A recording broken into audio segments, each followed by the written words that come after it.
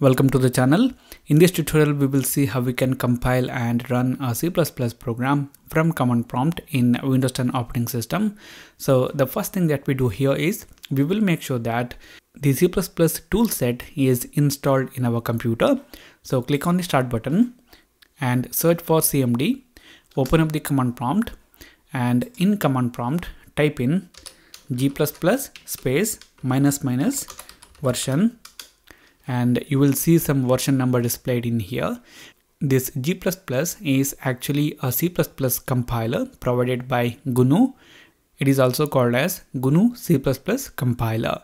Now, if you get any error message in here, then it means that the GNU C++ compiler is not installed in your computer. You have to download and install it. And also you need to set the path environment variable. I have made a tutorial where I have explained how you can download and install GNU C++ compiler and also how you can set up the path environment variable.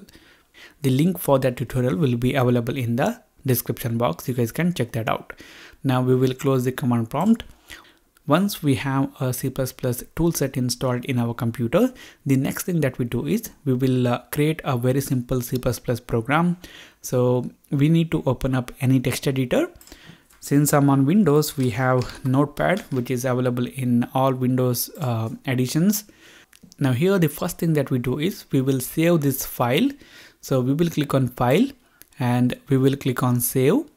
I'm gonna save my file in the desktop and in the desktop I'm going to create a new folder. Right click new folder. I'm going to call it as C++ programming. And after that we will open up this folder. And inside this folder we will save the file. Now for the file name we can give any name. I will say hello.cpp because this program that we are writing will print hello world to the screen .cpp is the extension for the C++ files. And since we are using the notepad in here, we have to make sure that save as type is all files. Otherwise, it will save the file as a text file. Okay. Once we do that, we will uh, click on save and the file has been saved. Now we can write the program. So the first thing that we do is we will include the iostream header file and after that we will say that we will be using something defined inside the std namespace. So using namespace std and after that we will have the main function which will be the entry point of our program from our perspective. And in this main function what we do is we will use cout and we will display something to the screen. We will say hello world after that we will end that particular line and then from this function we will return a value of 0 indicating that this program ran successfully.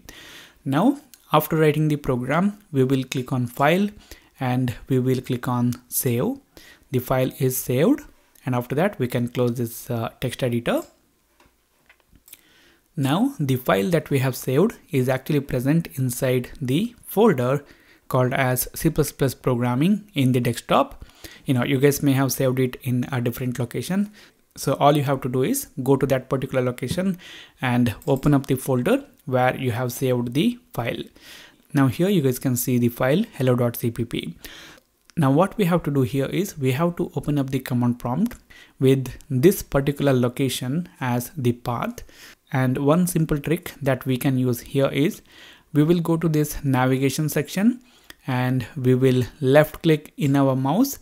It will highlight the path and we will type in cmd and after that we will hit the enter button. It will open up the command prompt in here with the path of the current folder where we are in. So you guys can see desktop c++ programming. Now what we have to do is we have to use the c++ compiler and we have to generate an executable file for the source file called as hello. In a particular tutorial, I have explained all the steps that we have to do in order to generate an executable file from the C++ source file. And almost all compilers provide a single command interface which will do all those steps in the background and it will generate the executable file for us. Here we have to type in g++ space then the name of the file containing the C++ program. In this case it is hello.cpp. If I hit the enter button now nothing happens in the command prompt but if we look at the folder then a new file is created and it is called as a it is an executable file this file is the executable file that is created from the hello.cpp source file now to run this executable file in the command prompt we have to type in a after that hit the enter button and we can see the output of our program which is hello world now, if we notice the executable file in here, then the name of this executable file is called as A, which is the default name because we haven't provided any name.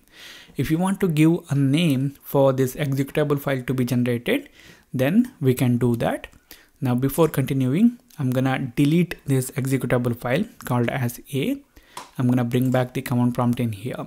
So now what we do is we will do the same thing and we will generate the executable file but with a particular name, you know, whatever the name that we want to give, we can give that name. For that, we have to type in g++ space name of the file containing the program.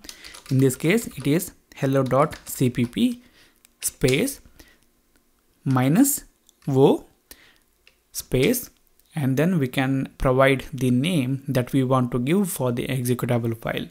Here I'm gonna say application dot exe okay? After that hit the enter button. Here this minus o indicates that this is the name that we want to give for the executable file generated. After writing the command hit the enter button. Now nothing happens in the command prompt but if we look at the folder in here we have the executable file generated with the name application. Now in order to run this application all we have to do is we have to type in the executable file name which is application hit the enter button and we can see the output of the program which is hello world. Now here while using the C++ compiler to generate the executable file, we can provide more uh, flags or more information. For example, we can specify the standard that we want to use, or we can ask the compiler to include the debugging information. And also we can uh, ask the compiler to generate any warnings if there is any warning for the program, you know, all that we can pass in here. So this is how we can write a very simple C++ program in Windows 10 operating system and this is how we can run that program in command prompt. If you like this video, hit the like button. If you don't like it, hit the dislike button. If you want to say something, then write that in the comment box. For more tutorials like this, do subscribe to the channel. Thank you for watching. I'll see you later in the next video.